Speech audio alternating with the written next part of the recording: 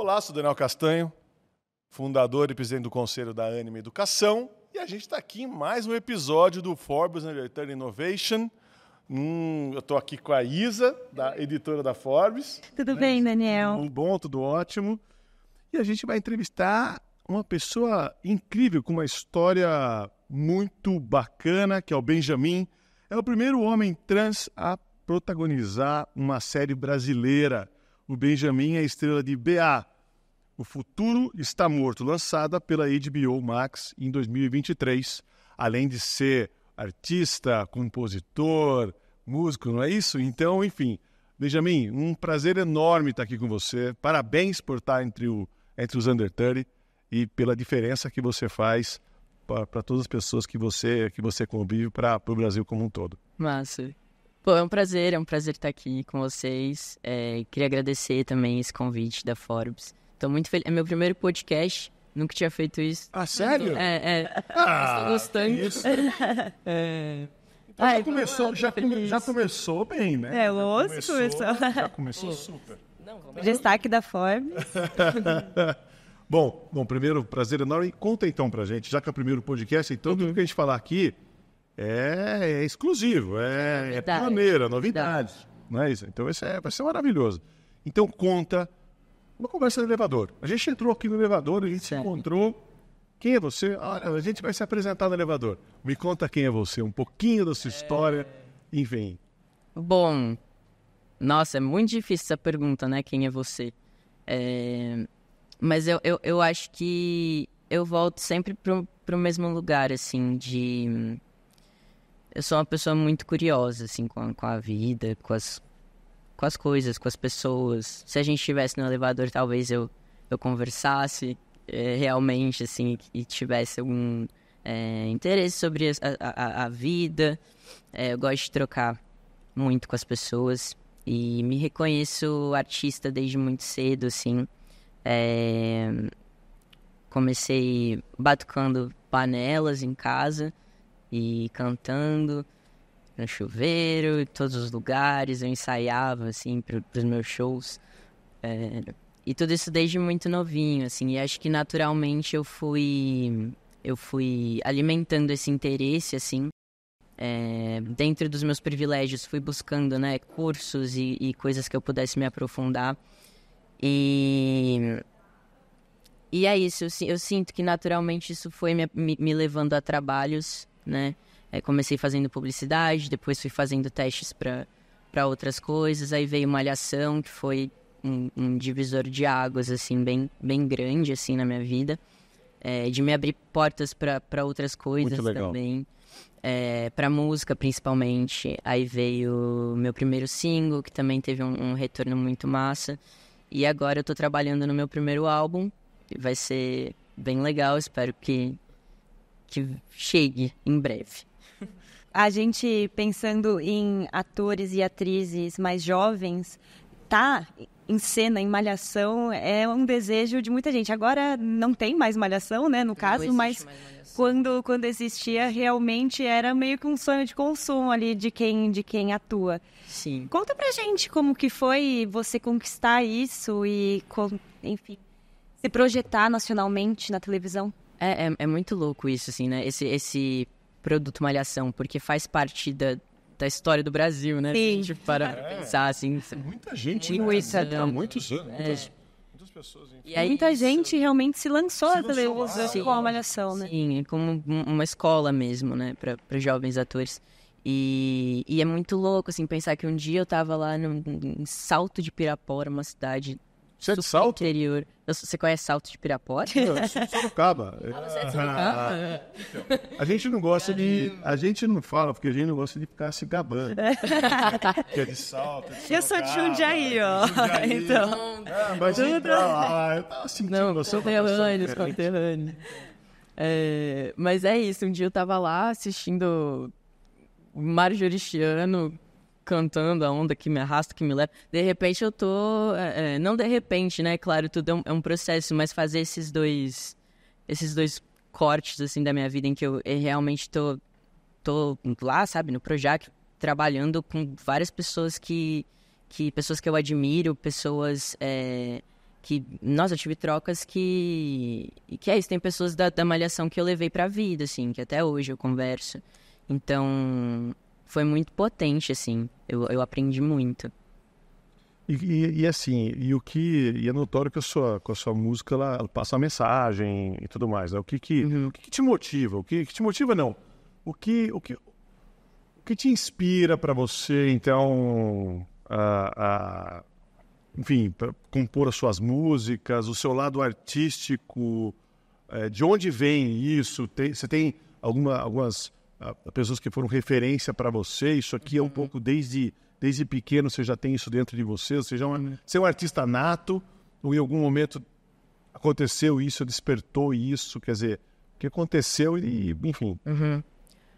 É, eu acho que não tem um momento específico assim que eu percebo que a arte entrou na minha vida, porque para mim eu tenho um pouco essa sensação de que sempre esteve ali, assim, eu, eu é... a gente tinha uns CDs em casa e eu sempre ficava ouvindo assim os que eu gostava em looping, e aí às vezes a gente fazia karaokê, então eram é, pequenas coisas assim que iam me, me alimentando, eu, eu é, meu pai tocava violão, ele tocou violão por muito tempo. Minha mãe tem uma voz linda, canta super bem. Mas é isso, eles não são profissionais da música, assim. Mas eu acho que, de certa forma, é... ter essas coisas me alimentando, perceber esse interesse e, e ter é... um ambiente seguro que eu pudesse me expressar foi uhum. fundamental, assim. Eu acho que, de certa forma, é até um privilégio, né? Na infância, você poder é... desenvolver seus interesses, assim. Porque acho que tudo que a gente desenvolve na infância é muito mais, mais forte. Te impacta o resto da vida. É, tipo, sei lá, crianças que, que tem muita facilidade em aprender idiomas, né? Tipo, se a gente vai aprender um idioma novo agora, gente vai ralar um pouco, assim. Então, então é isso. Acho que desde pequenininho eu tenho isso comigo. Eu tenho... Começou com a música, né? Eu acho que sim, mas minha mãe dizia que eu fazia, e eu, eu tenho essas memórias também, que eu criava peças de, de teatro e de fantoche em casa, fazia circo. Então acho que é, é, muito tudo, assim. Esse negócio do circo era bem forte, porque no interior tem bastante isso, né? De, de circo. Então acho que é tudo meio, meio misturado, assim, dentro, dentro da arte. E eu tenho até uma lembrança muito engraçada, assim, deu. Acho que eu devia ter no máximo uns 5 anos, assim. Eu tava sentado, assim, na garagem de casa, olhando pra rua. E era um... Na escola, a gente tinha... Tinham pedido pra gente desenhar o que a gente queria ser quando crescer. E aí eu lembro que eu desenhei... Eu, assim, com o microfone, aí tinha uma, uma bola de espelho, assim. E... E eu me desenhei de cabelo comprido e de vestido. Porque eu tinha a sensação de que ia ser muito errado se eu me desenhasse, tipo... De bermuda e camiseta e cabelo curtinho, assim. É... E aí é muito louco, porque daí é isso. Corta eu na garagem, tal, sentado, e, imaginando, sonhando acordado, assim, com esse cenário de, de que eu. É muito louco isso. Eu adulterava meus documentos, mudava de país enquanto, enquanto homem e era um cantor, né? E aí eu, eu, me vi, assim, no palco e tal. Porque eu, eu, eu acho que eu achava que era a única maneira, assim, de eu viver enquanto homem. Se eu, tipo, mudasse o país, mudasse meus documentos. E, na inocência da criança, tipo, qualquer coisa é, é muito possível, assim, né?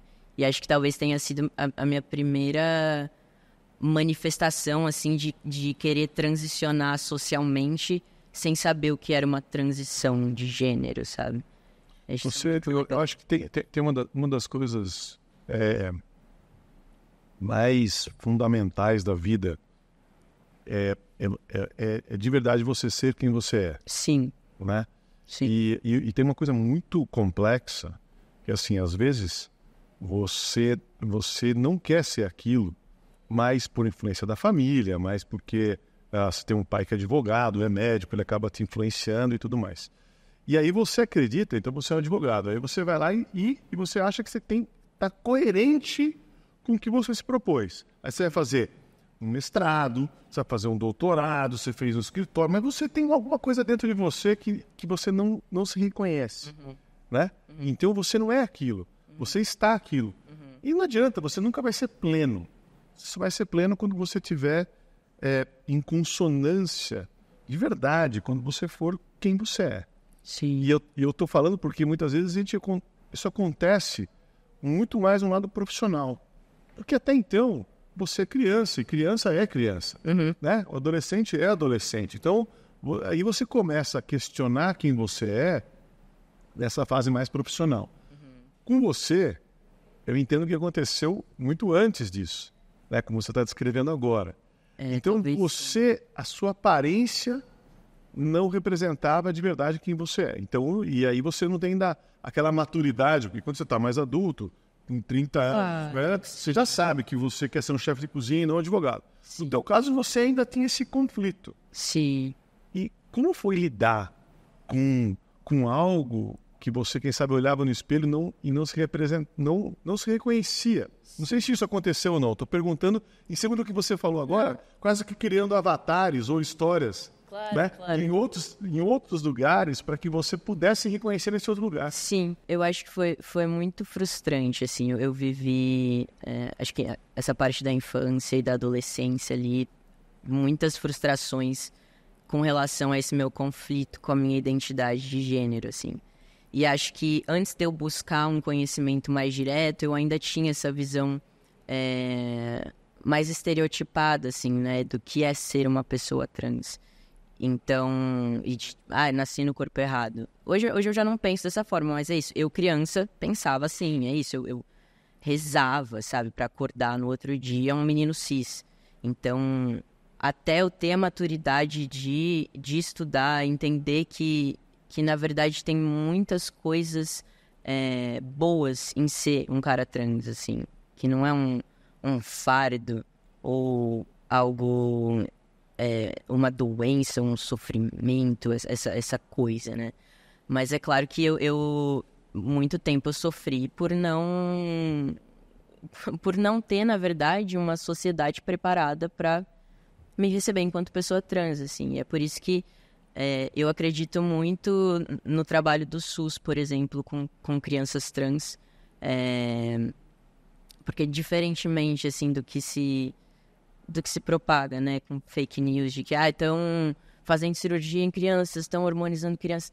Não, não é nada disso, sabe? Tipo, o trabalho do SUS é, com crianças trans vem muito de dar o acolhimento e o cuidado psicológico que essas pessoas, é, tanto a, a criança quanto a família, precisam para poder é, lidar com ser uma pessoa trans em sociedade, assim, porque é, toda essa, essa transição de gênero em crianças é uma transição social. Então, é, a criança vai poder usar as roupas que ela quer, ter o cabelo que ela quer, poder se, se identificar com, com e responder a, um nome que ela de fato se reconhece. E são coisas completamente reversíveis, assim.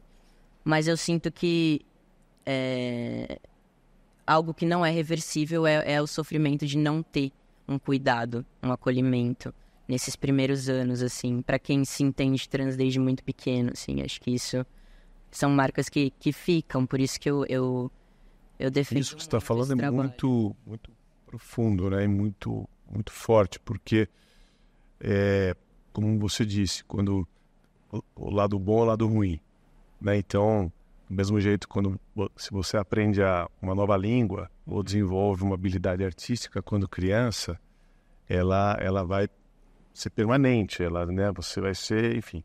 E do mesmo jeito, se você sofre muito quando criança, as dores também, quem sabe, sejam permanentes. São muito Uhum. difícil de você de você ultrapassar aquilo. Então, Sim. o que você está dizendo é, é assim, entre algo que pode ser reversível, simplesmente deixar aquele incômodo que aquela criança está sentindo de uma maneira mais permeável em relação à sociedade. Sim. Né? Uma relação mais fluida em relação à sociedade.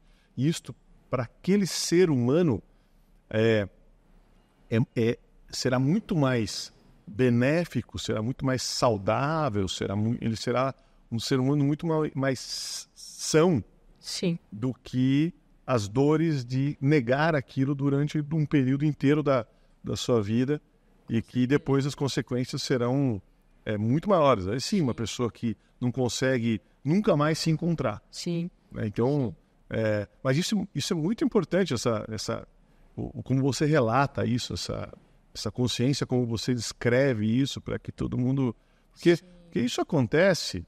Então, o que eu quero dizer é o seguinte: a questão que você traz é enfrentar algo uh, que, no qual você não está se reconhecendo. Pode ser você estar tá vivendo uma vida que você não, reconhece, não se reconhece naquilo. Sim. Você está vivendo de um jeito uh, é, que, que, quem sabe, a sociedade está vivendo, a escola está vivendo, ela é mais ela é, não é genuína, ela é fake. Todo mundo, uhum, Sim. todo mundo tem uma máscara ali. Você fala não, eu não sou, eu não, não faço parte desse, dessa tribo, não faço parte desse, desse grupo de pessoas, eu não faço parte dessa comunidade. Sim. E isso é muito importante. Quer dizer, o, a mensagem que você traz, para mim, ela transcende a, a própria questão de trans. Não é assim, ó. Ah, então só quem se reconhece como você se reconhecia é que vai ficar é, impactado no que você está falando. Não, né? ultrapassa. É quem não está bem consigo mesmo. Sim. Seja no que for. Sim. É, é isso. A gente, a gente tá em transição, né? Todo mundo o tempo todo. Então, tem muito essa coisa de... Ah, porque quem eu fui, quem eu sou. E aí eu acho que não é muito essa separação, assim, de antes ou depois, passado, futuro. Porque é, é, é tudo uma... Eu queria saber isso de você. Sim. Se você sentiu uh, é, tem uma data, né, que, que, da mudança e de como você se manifestou nas redes sociais e tudo mais. Se você se sentiu é um, é um antes e depois, um, um morreu para que o outro existisse uhum. ou ou não, ou é algo que eu, é, é, hoje você é uma evolução de tudo que você passou na sua vida. É claro que você é uma evolução, mas, uhum. mas qual é o seu sentimento? É um sentimento de é um renascimento ou é um sentimento de simplesmente uma evolução e ele é um dia, não é um dia como outro qualquer, mas é um dia que você é, que aconteceu algo importante na vida. Sim, sim. Entendeu? Mas é algo importante na vida, mas ele, mas ele não necessariamente ganha aquela relevância tão grande quanto uma, uma transformação abrupta, assim. Sim. É, eu acho que eu já já morri, já renasci várias vezes, assim, em vários contextos. É, um deles foi a transição também. Acho que existe essa sensação, mas não é um, uma coisa de um dia para o outro, assim. É, acho que pode ter um momento, um momento em que dá o insight, assim, né? Em que a gente fala, não, acho que eu entendi.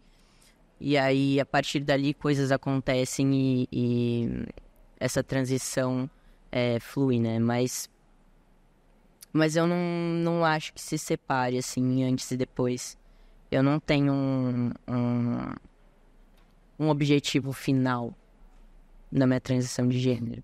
Porque eu acho que as pessoas às vezes colocam muito isso, assim, né? Então é tipo, ah, enquanto, enquanto você não tiver barba, você não é um homem. Eu acho que eu não, não tem esse, esse ponto final, o que, o que, que determina, assim. Sim, sim. É algo... É... Então eu olho muito dessa forma, assim. Algo natural, assim, mas... Sim. Enfim. Você é, você falou assim, eu não conseguiria existir, aspas, né, uma coisa que uhum. você falou, não conseguiria existir de outra forma que não, não sendo artista. Então, poder me profissionalizar em algo que eu amo foi um presente que eu abracei com muito desejo. É muito difícil ser artista no Brasil, mas eu não enxergo outro caminho para mim. Como você. É, é, essa questão do ser artista é, e essa frase que você descreve, você acredita que tem uma relação muito forte por, por ser trans, e aí esse é um ambiente um pouco mais acolhedor, ou, ou isso não tem nada a ver, é simplesmente porque a maneira que você se manifesta nesta vida, nesse planeta, é sendo um artista, independentemente de ser trans ou não. Uhum. Como que se é muito se tem uma influência forte, uhum. porque é um lugar mais acolhedor, ou, ou não necessariamente? É, não, eu acho que é assim, é muito difícil ser artista no Brasil porque nossa cultura tá massacrada, assim, né, para nós artistas. É... E acho que sendo um artista transmasculino, outras questões se apresentaram, assim, a gente é, lida com uma exclusão muito grande, assim, não só no meio das artes, né, em qualquer ambiente de trabalho, assim. É... E, e, e, me despertam vários medos, assim, em existir artista, né? Porque é isso, é o medo de não conseguir se sustentar só, só com arte, que é praticamente impossível, inclusive. É, se sustentar só com arte, ou o medo de, pô, sei lá, de, de, de escrever música e aí minha música flopar, e tenho medo de ser cancelado, tenho medo de. É... Então, são muitos medos, assim. Mas eu acho que muito pior seria eu não fazer essa escolha de ser artista, sabe? Porque é isso, aí é, é, é, entra até uma questão de saúde mental, assim. Eu não sei se eu estaria vivo se eu não fizesse arte, sabe? Queria puxar para essa dificuldade mesmo do de ser artista no Brasil e como você disse até se sustentar com isso. Como que leva uma carreira artística com todas essas preocupações e realmente fazendo da arte uma carreira, sabendo que você tem boleto para pagar? Como que você lida com tudo isso? É... Não sei se eu vou ter tantas respostas assim, não, porque acho que eu tô, tô tentando entender também, tô tentando chegar nesse nesse lugar. E acho que com todas as pessoas que eu troco, tá todo mundo meio que na mesma, assim. É, é a gente tem, tem esse desejo e faz é, é, o que está ao nosso alcance para materializar né, esse desejo. É, muitos artistas acabam sendo produtores também, escrevem para edital, lei de incentivo e, e etc. É, cada vez mais eu chego à conclusão de que não é possível ser só artista, porque é muito difícil, assim. Por exemplo, agora eu tô nesse processo de produzir meu álbum, né? Então, pô, produzir, planejar, lançar um álbum, parece que não, mas envolve muito dinheiro, assim. Então, é, é, eu tenho feito isso é, aos poucos, né? Da forma que, é, que eu posso fazer. E imagino que esse ano ainda eu devo estar entrando em estúdio para poder gravar as versões finais. Mas é isso, é todo um processo que, que não é muito visto, assim. E aí existe toda essa glamorização, né, do, do artista e...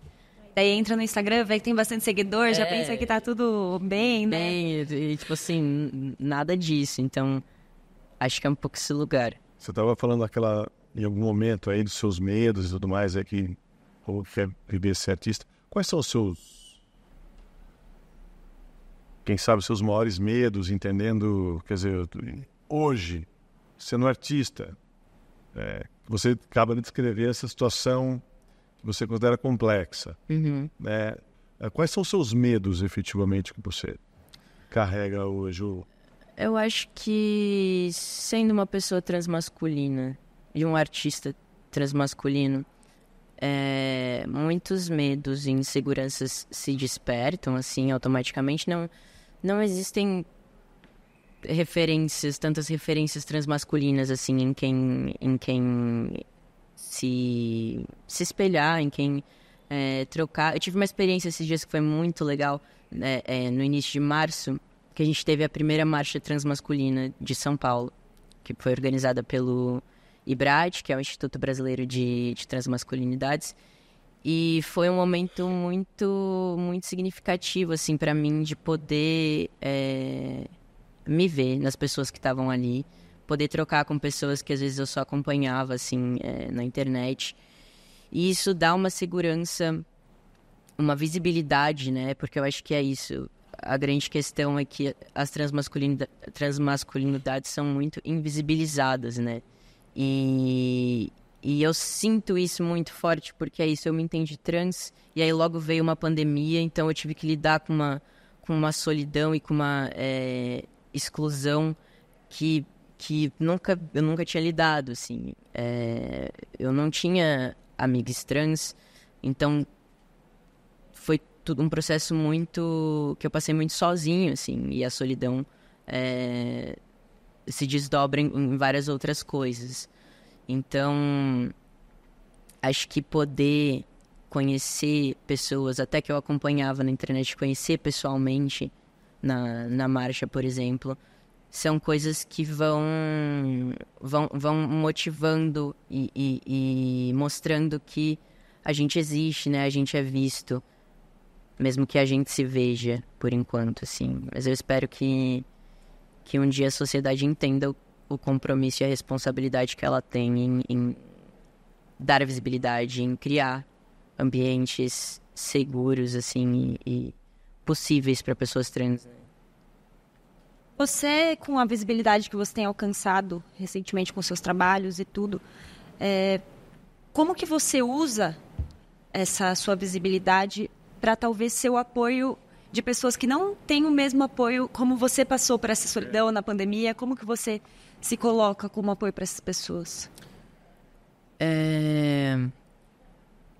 Eu, eu gosto bastante de, de falar sobre minha transição, falar sobre coisas que coisas que talvez eu quisesse ter ouvido, assim, é, quando eu não ainda não tinha transicionado, ou até durante o início da transição.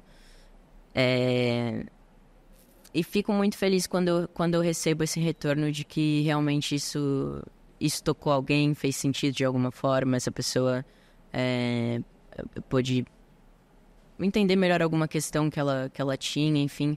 Mas é isso, eu também não.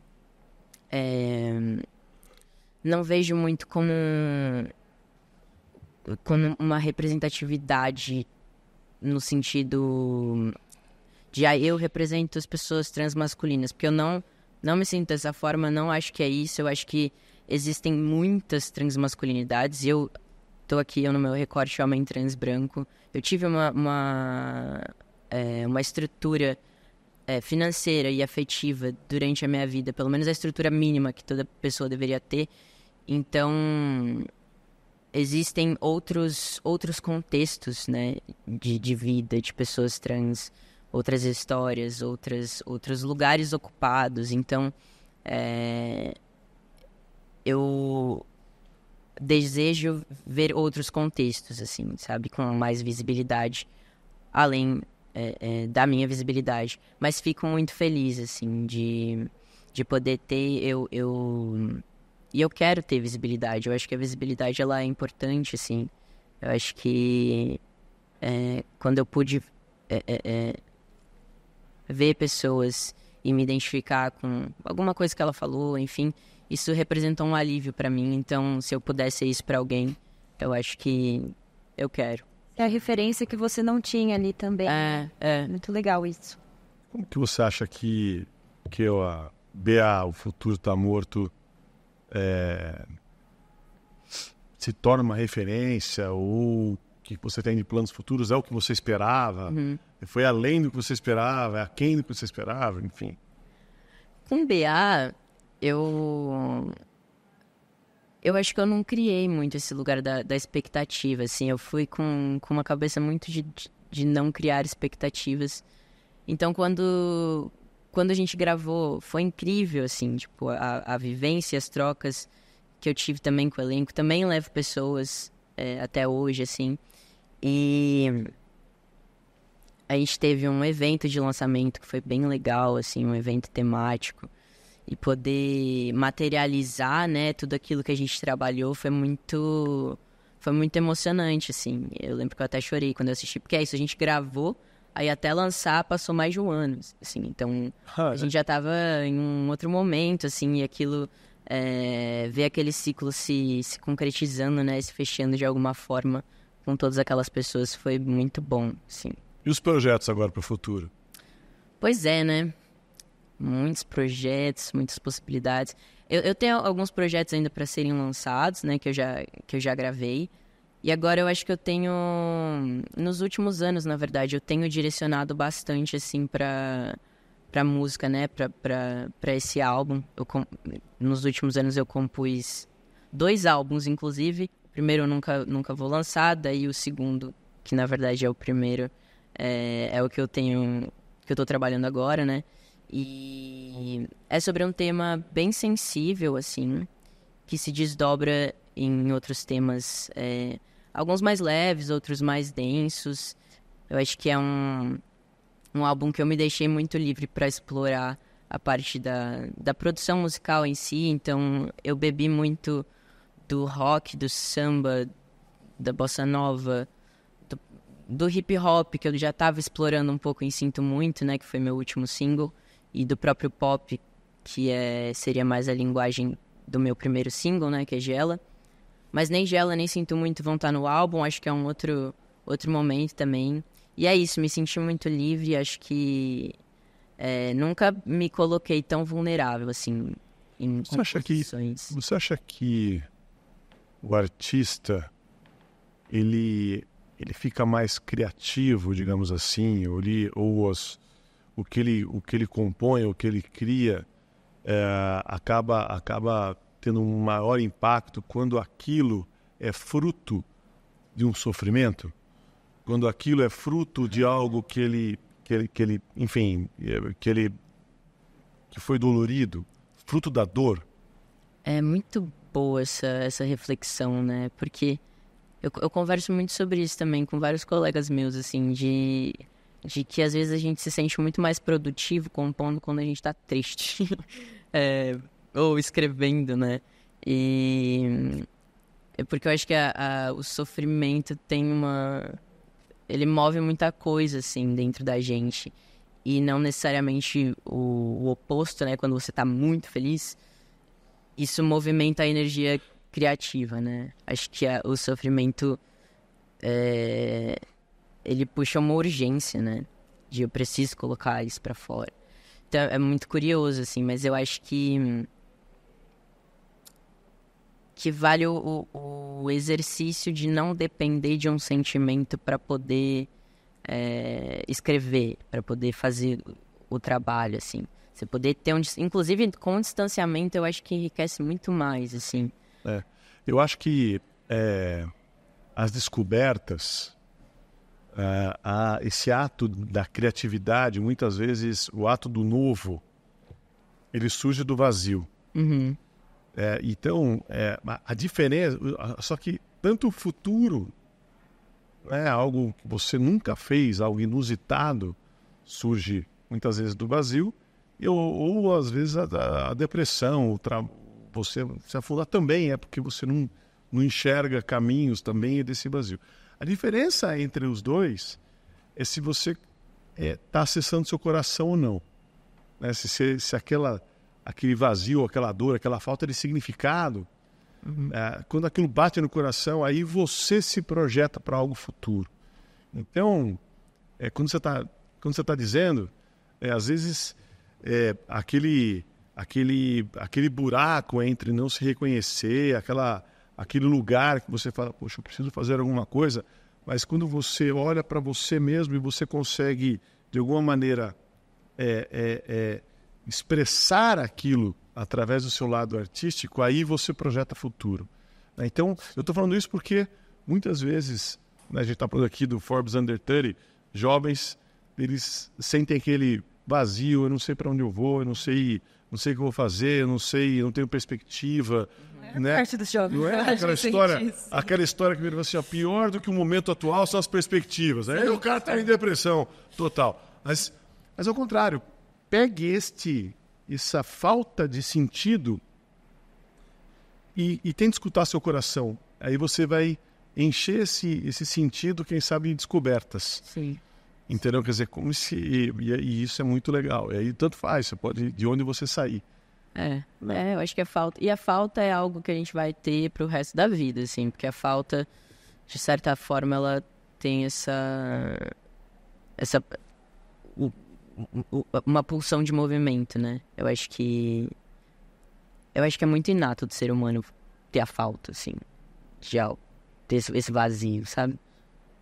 É muito também do que a gente estava falando no outro podcast, né? Sobre essa coisa de que tudo passa e a falta passa e é tudo cíclico, né? Sim. Você tá feliz, vai passar, você, Sim. como você disse, que não quer depender de um sentimento, né, para ter criatividade. Sim. É, porque esse sentimento vai passar, então Sim. realmente. Eu queria saber também sobre o seu processo criativo. Uhum. É, se você usa algum exercício para exercitar a sua criatividade? Se você acha que as pessoas nascem criativas, é isso? Ou se tem como lapidar a criatividade de alguém? Não, é, esse papinho aí de, de nascer, não acho que é assim.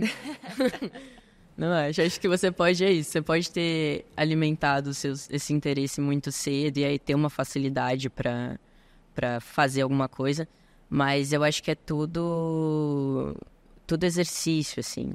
É, e eu demorei, nossa, eu dei voltas e voltas, assim, acho que para estar num lugar confortável com a minha criatividade, assim. Então, eu me propunha a exercitar, eu escrevia. Tem esses exercícios aí de, ah, escreva três páginas por dia, e aí todos os dias durante tanto tempo. E aí eu, eu fazia, tentei é, muitas coisas, assim. Esse em específico funcionou?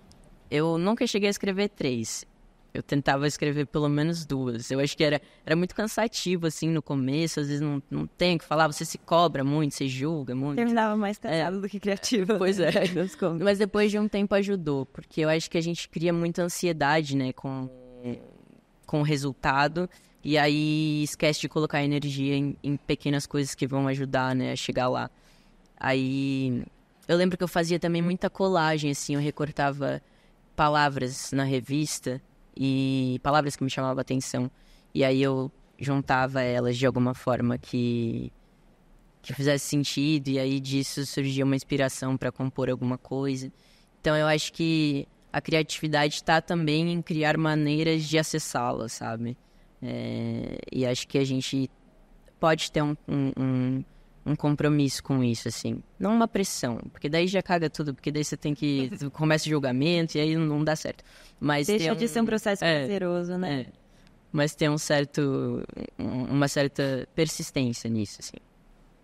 Tem uma filósofa brasileira que ela, se não me engano, é a Adélia, Adélia Prado, que ela fala que às vezes uh, Deus me tira a sensibilidade e ao enxergar uma pedra eu vejo apenas uma pedra. Né? Então, assim como Nietzsche também sempre diz que o, mundo não se justificava, não, não, faz nenhum sentido se não fosse através da arte, uhum. né? através, enfim. A gente se constrói no conflito de ideias. Sim, eu acredito muito. E se a gente, a gente só evita o confronto de pessoas através do conflito de ideias. Sim. Muitas vezes a gente está é, com um medo do conflito de ideias, porque eu vou falar alguma coisa, como é que ele vai entender tal. Ao contrário. Né? Então a gente tem que construir também essa sociedade da tolerância, Sim. a sociedade da empatia, a sociedade de entender efetivamente o outro, de saber escutar e saber escutar não é escutar na boca do outro o que você pensa, mas escutar algo diferente do que você pensa e refletir sobre aquilo. Né? Então, é, essa é a sociedade que a gente quer. Sim. Essa é a sociedade que a gente tá, que a gente deseja. Né? E eu tenho certeza que você que você também, é, não, até pelo que você ideia, representa, pelo, pelo que, pela sua história de vida, por ser artista, por ser trans, por, por diversos motivos. Uhum. Né? Então, é, se eu te perguntasse aí três desejos pro pro gênio da lâmpada, né? o que seria? E não pode ser um desejo para você. Tem que ser um desejo para o mundo, tem que ser um desejo para a sociedade naquele conceito do a gente é o que a gente espalha, não o que a gente junta. Sim. Pô. Eu acho que. Enquanto a gente não acabar com a fome, primeiro a gente não tem nada. É... Então acho que esse seria o primeiro desejo. É... Meu Deus. É... Que acabassem as guerras. Tem muita gente morrendo. E pessoas. Se eu pudesse acabar também com, com a violência que acontece contra pessoas trans com a transfobia, eu também acabava. E aí eu. Ih, já foram três, né? Mas aí Pode terceiro... pedir. Pede, o terceiro você falou, eu quero mais dois. Era isso que eu ia falar. Pronto, terceiro eu quero mais dois. Pode pedir o quarto. Porque daí eu vou pedindo, e aí chega no último eu peço mais um pouco e a gente resolve tudo. Todos os problemas do mundo. Acho que isso seria boa. Seria o sonho mesmo, né? E pegando esse gancho ainda dos desejos, o que, que você deseja para a cultura no Brasil? Como você acha que o cenário pode melhorar para os artistas daqui? Cara, eu acho que a gente fortalecer o cenário da música independente, que naturalmente já vem, vem se fortalecendo, assim. Hoje em dia é muito mais, é, mais fácil você ter acesso às plataformas e tal. E e isso é muito importante, né? Você tirar é, é, esse, esse direito de quem, quem, quem faz música e quem não faz. E essa decisão aqui é das grandes gravadoras, né? Hoje em dia, as pessoas podem fazer músicas e, e, e lançar de outra forma. Então, acho que fortalecer o cenário independente e e é isso, e consumir arte, sabe? Consumir arte de pessoas trans, consumir arte de pessoas pretas, consumir é, o teatro, sabe? E eu até esqueci a pergunta. Fui falando de várias Como que você acha que o cenário da cultura no Brasil pode melhorar é para vocês como artistas? Acho que é um pouco isso, assim. Pensando na profissionalização, assim mesmo, do artista profissional, não na questão criativa, assim. Sim. Para realmente vocês viverem uma vida com tan... não com tantas preocupações como as que você citou no começo, mas Sim. acho que é isso. Sim. Você amarrou tudo muito valorizar, bem. valorizar a cultura nacional, é isso. Que é uma coisa muito, muito enraizada aqui do Brasil, que por muito tempo a gente só soube apreciar o que vinha de fora, né? Uhum. Então, a, a de uns tempos para cá, né, bons anos para cá, isso tem mudado. A gente tem conseguido valorizar mais, mas eu ainda acredito que não chegamos sim, lá. Ainda tem um sim. caminho aí. Então, a importância mesmo de da voz, né, e colocar é, artistas nacionais mesmo em podcasts como os nossos, né? Exatamente. Total. Isso dá essa visibilidade. Total. E pegando, pe pegando o, o, gancho dela e indo para uma pro, pro finalmente, eu queria que você deixasse uma mensagem final é, mas muito, muito no intuito de que uh, ela, é, a, a, pergunta foi o que, que a gente deve fazer para melhorar a cultura né, do, do, do, Brasil e tal. E aí eu queria uh, provocar do outro lado.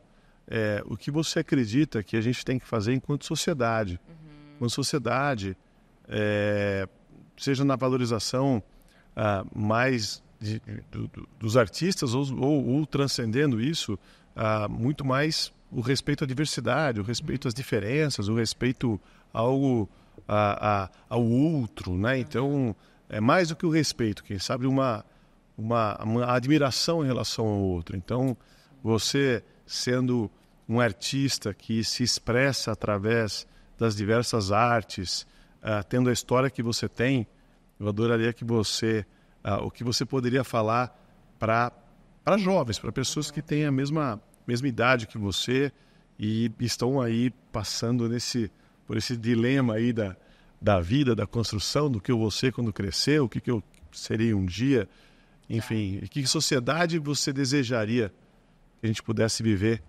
daqui a 20 anos? são muitas coisas, espera aí, vamos lá. Por partes. É, eu acho que uma,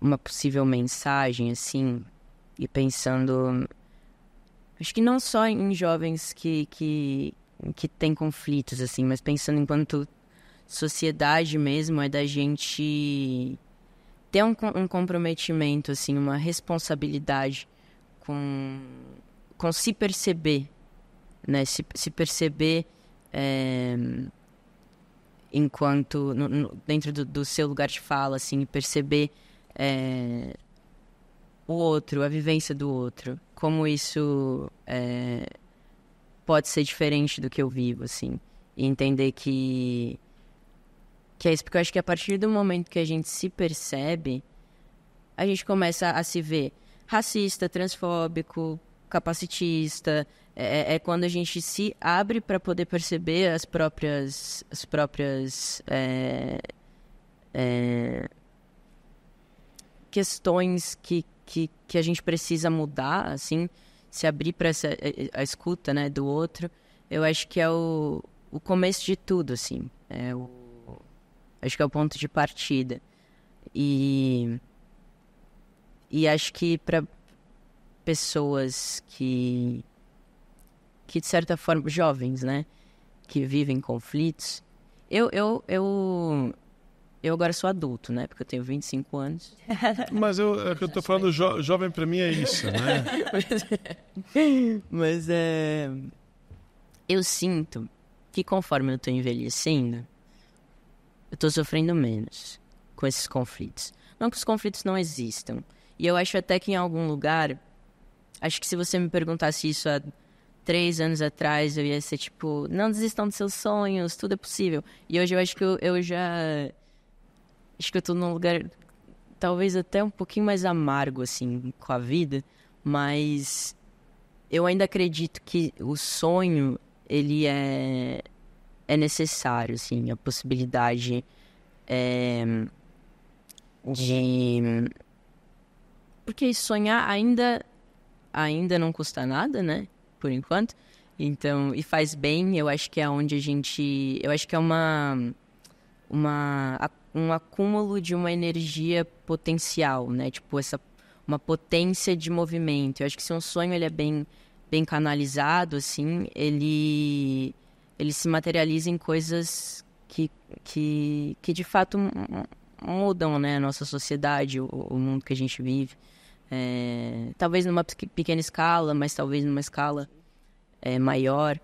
E então acho que que é isso. E, e uma coisa que foi muito importante também para mim é entender que eu não estava sozinho e que eu podia pedir ajuda, assim, podia, podia compartilhar minhas questões com pessoas que talvez conseguissem me entender, assim. E, isso é fundamental. E, e é isso, sou muito sortudo e muito privilegiado de ter uma rede de afeto e tal. Então, acho que que se todo mundo pudesse ter uma rede de afeto, é, esses conflitos seriam menos sufocantes, assim, para pessoas jovens. Acho, acho muito legal o que você falou, incrível o que você falou.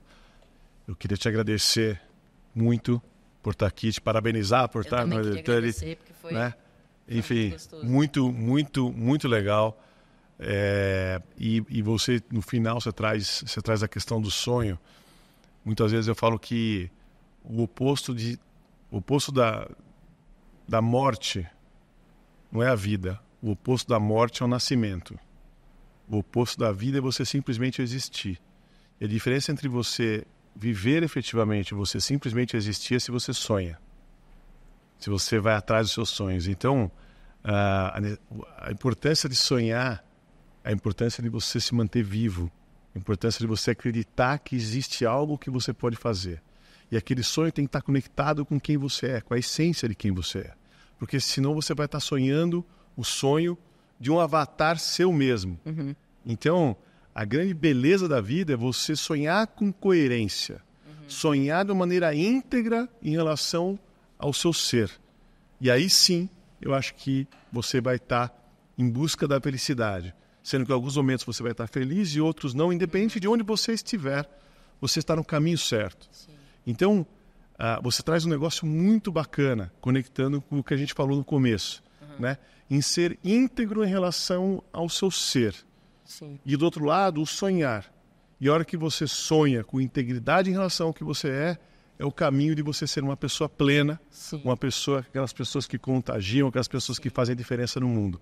E foi um pouco sobre isso que, que a gente falou aqui, um pouco sobre isso que eu que eu, que eu aprendi aqui com você, uhum. né? um pouco sobre essas coisas que eu saio daqui refletindo sobre essa nossa conversa que foi incrível. Uhum. Parabéns, parabéns por estar entre os Under 30, parabéns pelo que você tem feito, parabéns pelo artista que você é, parabéns pela pessoa corajosa que você é e que realmente é um exemplo para diversas outras pessoas no Brasil. Obrigado. Estou muito feliz. é, foi bem gostoso mesmo. Obrigado, Isa. Ah, a gente que agradece. Obrigado, prazer enorme.